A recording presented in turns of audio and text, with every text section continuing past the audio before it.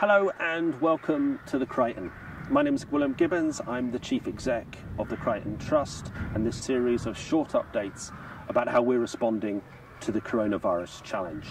It's been a few weeks since my last update, my last video blog, and if you've been up to the grounds recently, you'll notice that there's a number of things that are beginning to change.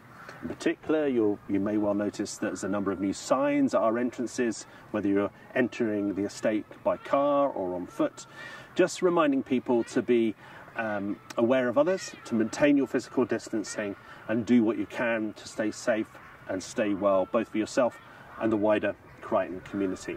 A key point in terms of physical distancing, if you're if you're coming to the estate to enjoy the grounds, is obviously we've got ample space for people to enjoy. So that's very easy to do. Most of our paths are very wide, so it's easy for you to to avoid each other and keep those, those kind of at least two meter distances between you. Where it's a little more tricky is the rock garden, and we know it's very popular.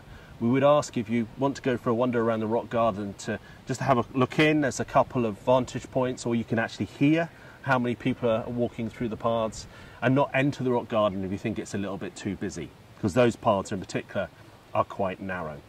Um, go and have a little wander somewhere else, or you could come up to um, up to Easterbrook and enjoy the Easterbrook take, takeaway and cafe that we have now opened up from last week. So it is a lovely place to sit out, have a drink, have something to eat, or you could even order a picnic to take away. Uh, if the weather's bad, we do have some limited um, uh, space for tables inside what was Easterbrook uh, Bistro, uh, but I would advise that you book if you want to ensure that you get a table. We're really pleased to be able to get a little bit of our catering offer back up and running. In terms of Easterbrook Hall, we've made the difficult decision to not reopen Easterbrook Hall for public events until the end of March. Uh, 2021. At the moment, we can't see any certainty on how we can bring large numbers together safely.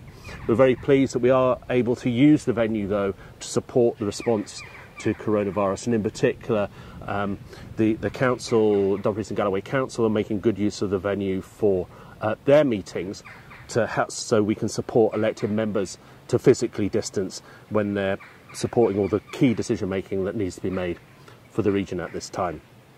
The Easterbrook Hall kitchens and fridges are also being used as a storage and distribution point for uh, food packages um, in the region. So, you know, it's although the venue is closed to the public, we're making sure we're doing as best use of that facility as we possibly can. The other thing that's beginning is happening on this estate is that many of our tenants are now beginning to return back to their buildings or are preparing to return um, over the next three to four weeks.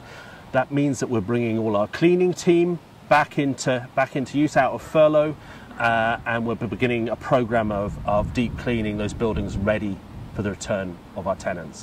One of the key challenges of coronavirus for us is that we have a number of buildings that have multiple tenants. So that means we need to look at um, inventive ways to see how we can minimize the contact that different tenant groups, different bubbles of people have, have with each other.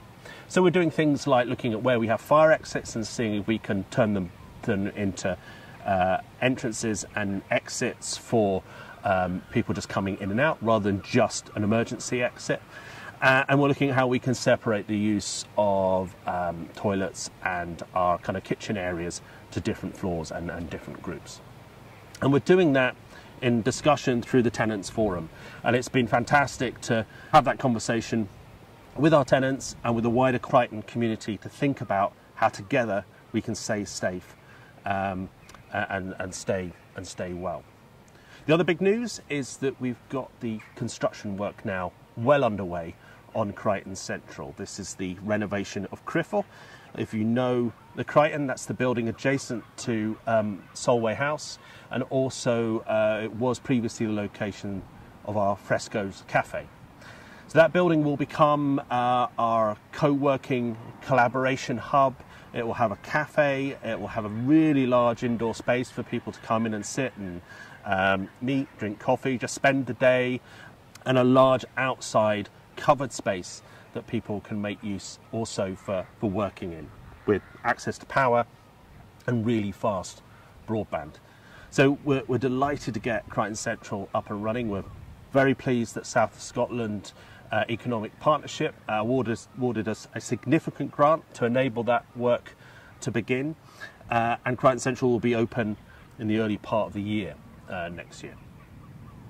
Um, the other thing just to mention about Crichton Central is that we're putting in a changing places toilet. So this is a, a large disabled toilet facility that greatly increases the uh, access to the Crichton estate, both for those people who want to enjoy the grounds, but also for uh, entrepreneurs, business leaders who want to use Crichton Central as, as their base. Finally, I just, just to let you know that there's a number of other things that are happening, kind of, I guess, in the background in relation to how the Crichton Trust is operating to ensure that we can respond in the best possible way to these unprecedented times and the challenges that we face. So we've looked at our governance structure, we've looked at how our meetings work, we've set up a series of seven work streams which are focused in key areas of um, the trust business so that we can both respond to the immediate challenge, and this is kind of what, is, what do we need to do over the next six weeks as, as the circumstances shift and change, because it's a very dynamic time in terms of the guidance and, um, and what, the, what we need to do to stay safe and well, and also what we need to do over a six month period and taking a longer view of six years and beyond. So we, have kind of shifted the way that our boards, board meetings work to um, make them more nimble and responsive to that immediate challenge while maintaining a focus on the big challenges and the long term challenges that we see around aging society, carbon reduction, and how we respond to the future economy. So that's my quick update uh, from the Crichton. Uh, I will do another one uh, in maybe a week or two's time. In the meantime, please come up, enjoy the grounds, come and visit our, our cafe, the Eastbrook Takeaway, and stay safe and stay well.